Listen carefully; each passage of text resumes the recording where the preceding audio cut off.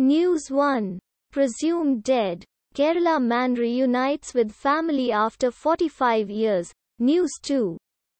Second terrorist killed in encounter is Sameer Dar.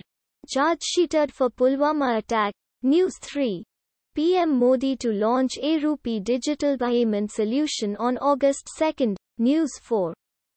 Pegasus Row. 133 crore rupees lost due to house disruptions. Cong says Gove ploy to curtail monsoon session. News 5. BJP leader Babul Supriyo decides to leave politics. Will resign as an MP. News 6.